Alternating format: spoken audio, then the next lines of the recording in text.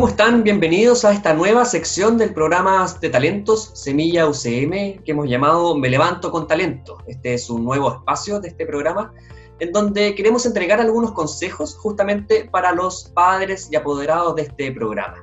Consejos en el sentido de quienes tienen hijos adolescentes eh, para que puedan mantenerlos dentro de casa en este confinamiento que es tan importante, ¿cierto? Que mantengamos hoy en día cada uno de nosotros. Nos acompaña el día de hoy Valentina González, quien es psicóloga y además es la encargada de la unidad psicosocial del programa Semilla UCM, a quien saludamos. Valentina, ¿cómo estás? Hola, muy bien. Eh, saludar a todos a quienes nos están mirando. Eh, sí, la verdad, eh, hoy vengo a hablar de eso. Es un tema que quizás vemos como muy simple, pero la verdad es muy importante abordarlo, de cómo mantener al adolescente dentro de casa, ¿verdad? Bueno, Valentina, claro, eh, justamente, y partimos entonces con la primera pregunta. Eh, Valentina, ¿cómo enfatizar eh, en este distanciamiento social con los jóvenes, ¿cierto? ¿Cómo, cómo hacerles entender que, no deben salir de casa, que ahí estarán más seguros? ¿Cómo, ¿Cómo hacerles ver eso? Claro, sí, la verdad es que es probable que los, adolescentes hoy en día estén bien convencidos de que este nuevo coronavirus no es tan eh, problemático para su rango etario como lo es para los mayores, ¿verdad? Entonces es un gran desafío eh, tratar de mantenerlos dentro de la casa. Eh, también comprendemos que ellos quieren ver a sus amigos, pero ellos no entienden por qué el distanciamiento social se debe aplicar a ellos también. ¿verdad? Alguna de, de las soluciones que podremos dar a, este, eh, esta dificultad eh, sería, no sé, diciéndole a los niños, eh, a los adolescentes, entiendo que no puedes saber y quieres saber de tus amigos, ¿verdad? Pero aunque puede que te sientas cómodo tomando este riesgo, también lo estás trayendo a la casa. Entonces, de esta manera, nosotros podríamos hacer que el niño se vuelva consciente de que la acción que está realizando puede traer muchos problemas también a su familia. Valentina, y, en ese sentido, em, hay una frustración importante, ¿cierto?, por no poder ver a sus amigos como tú recién lo señalabas. ¿Cómo, ¿Cómo apoyarlos en ese sentido? Sí, efectivamente, como tú dices, para los adolescentes los amigos son una parte eh, importante y esencial en su desarrollo. ¿Ya? Eh, es importante que nosotros principalmente como adultos podamos reconocer esta frustración que debe ser para ellos mantener esta separación con sus amigos. ¿Ya? Debemos escuchar lo que sienten, validar los sentimientos que ellos tienen, sus emociones, y luego em, directo sobre, eh, ir directo sobre cómo trabajar en conjunto, o sea, eh, eh, padre con el hijo eh, en conjunto para saber cómo sobrellevar esta situación, porque la verdad es una situación que se ha vuelto estresante tanto para los adolescentes como para nosotros los adultos, ¿cierto? Y cómo apoyarlo en este sentido, bueno, siendo un poco más flexibles con las reglas de la casa en cuanto al, uso de las redes sociales, ¿verdad? Porque sabemos que ese es el método que tienen los chicos para poder conversar con, sus amigos, ¿cierto? Entonces, eh, siendo un poco más flexible, eh, eh, esto va a ayudar a compensar este tiempo de socialización que se está perdiendo con el cierre de los colegios, de la escuela. Sabemos también que en el programa tenemos chicos totalmente sensibles, los niños con potencial de talento académico tienen características de que son apasionados, son intensos y esto eh, también va a ayudarlos a ellos a que puedan relacionarse con sus amigos, ¿cierto? Y otra de, de las cosas que podemos hacer, es también a ser un poco más creativos con esta, con esta interacción mediante redes sociales, que puede ser, no sé, eh, inventar alguna fiesta de disfraces, pijamadas online, eh, cosas que sean bien creativas para los chicos y que puedan servir bastante.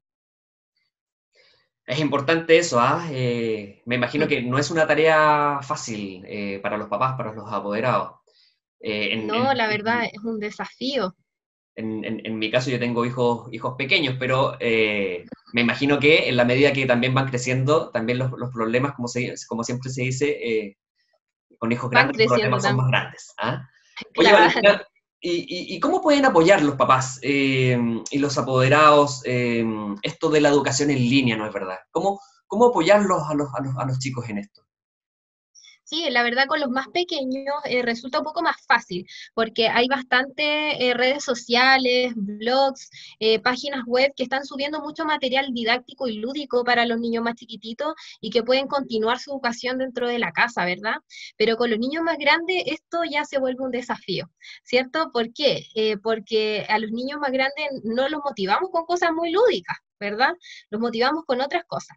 Entonces, ¿cómo, ¿qué es lo que podemos hacer en este, en este sentido? Podemos crear a lo mejor un cronograma que sea realista para el estudiante, donde eh, tenga sus momentos para socializar, donde tenga periodos, periodos definidos, incorporando los descansos, hacer algún ejercicio, entretenerse, ¿cierto?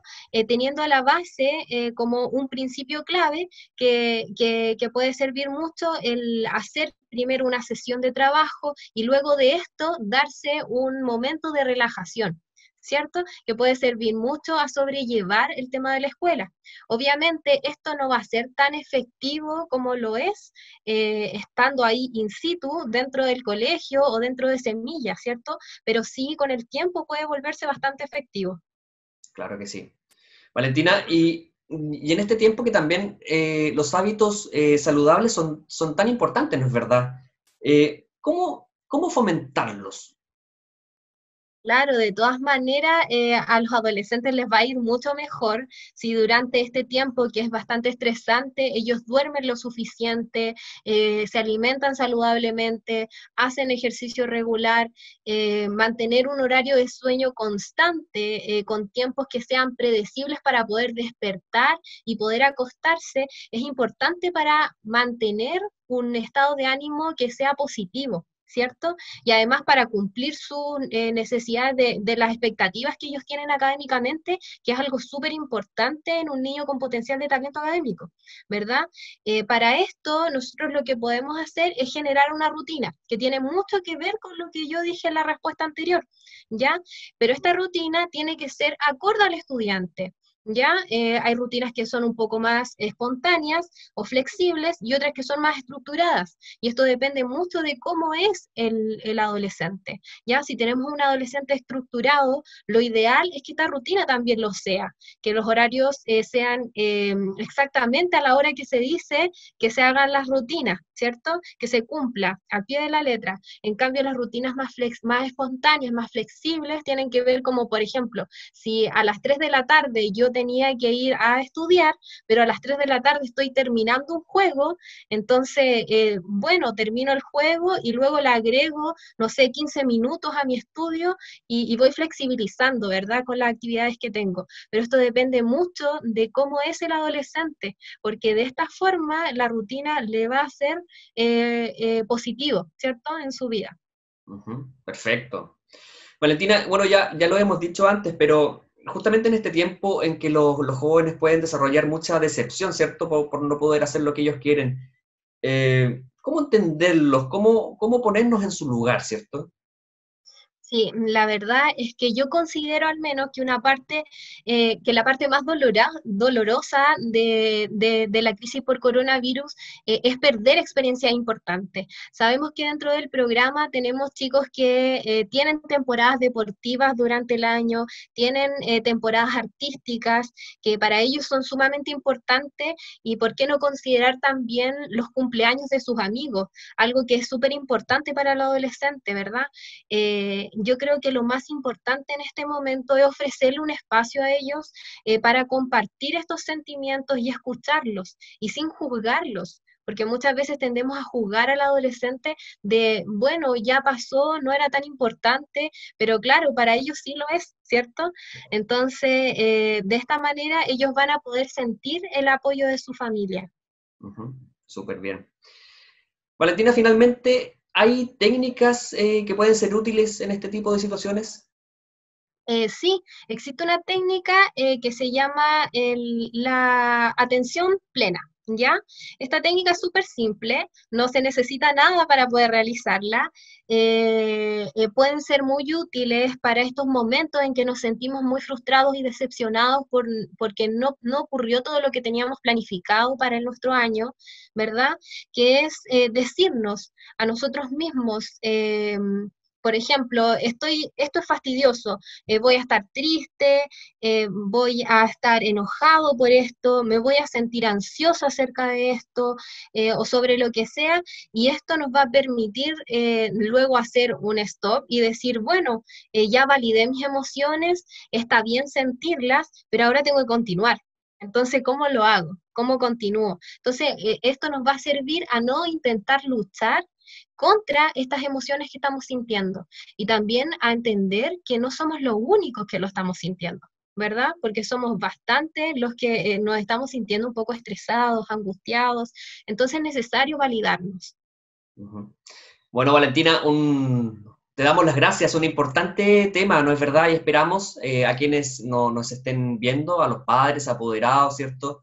Del programa de talento Semilla UCM, que esta información les haya servido. Una serie de consejos, como les decíamos al comienzo, en atención a, los jóvenes, ¿cierto? a los adolescentes en este tiempo de, confinamiento. Vamos a realizar una serie de programas respecto de estas temáticas. Eh, este programa se llama eh, Me levanto con talento, ¿no es verdad? Va a ir, ¿cierto, Valentina? Los días sábado en la mañana lo vamos a publicar en nuestras redes sociales y también se va a publicar, ya se lo vamos a adelantar, justamente en nuestras redes sociales un día a la semana. Lo vamos a repetir para que no se lo pierdan y para que también puedan, eh, a través de nuestras mismas redes sociales, eh, nuestra página web, nuestro correo electrónico, eh, que lo vamos a publicar en pantalla, para que también puedan dirigirnos las preguntas o las situaciones por las que estén pasando, ¿cierto? Así es que desde ya, un saludo cordial, espero que estén muy bien, cuídense y nos volvemos a encontrar en otra oportunidad. Chao, chao.